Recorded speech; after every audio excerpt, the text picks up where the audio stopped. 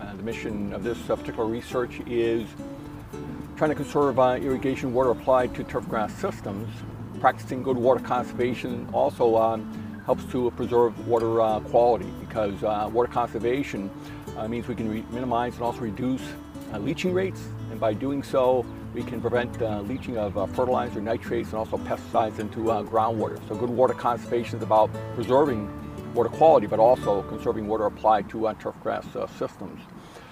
One of the most effective ways of irrigating turf is to irrigate uh, according to evapotranspiration. And evapotranspiration is just simply the sum total of evaporative water loss from the soil surface and transpirational water loss that occurs through associated leaf surfaces. Hence it's called evapotranspiration or turfgrass uh, ET. As an alternative method for trying to predict ET, loss from turfgrass um, systems, is to try to uh, predict ET using climatic data, weather uh, data. The problem with uh, these predictions, and these are referred to as reference ET values, is that these uh, predictions tend to overestimate actual ET. And by overestimating, they tend to promote leaching, and also they tend to promote uh, waste. This is our uh, weighing lysimeter, which is used to measure evapotranspiration actual ET uh, as a comparison to reference ET values which are derived from climatic data from weather station. These are installed in the uh, middle of the plots and because we're trying to uh, get a good estimate of crop coefficients this needs to be taken into uh, account when we're trying to determine the most efficient crop coefficients for recreational uh, turf. In each of those plots we have these lysimeters and, and this is how we measure actual ET, evapotranspiration. So essentially how we do this, we bring these uh, root zones up to field capacity, which is the max amount of water that root zone can hold.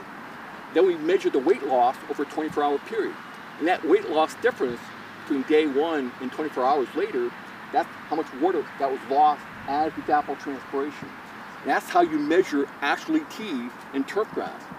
Turfgrass ET is affected by a number of factors other than evaporative demand factors such as relative humidity, uh, wind speed, turbulence, amount of solar radiation hitting uh, the surface, as well as uh, air temperatures all influence uh, ET, but also ET can be influenced in a positive or, ne or negative way through cultural intensity. So as nitrogen increases, typically evapotranspiration rates from uh, turfgrass increase, but also as height of cut increases, uh, so too does uh, evapotranspiration.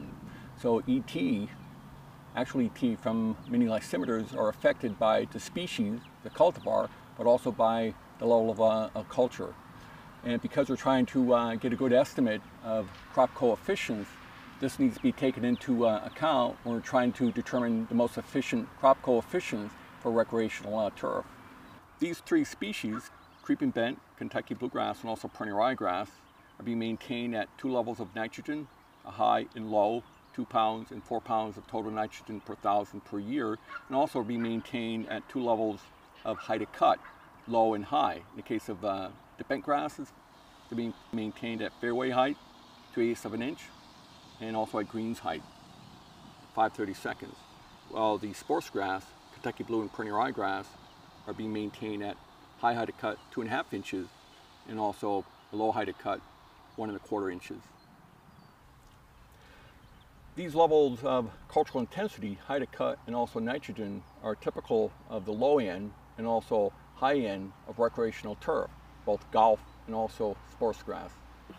This is going to be uh, conducted over the next three years. We're going to be taking, uh, determining uh, monthly crop coefficients derives from actual ET and reference ET values to help the uh, turf practitioner to apply water more intelligently and in the end to try to conserve water and also maintain functional sports grass and also golf course uh, turf.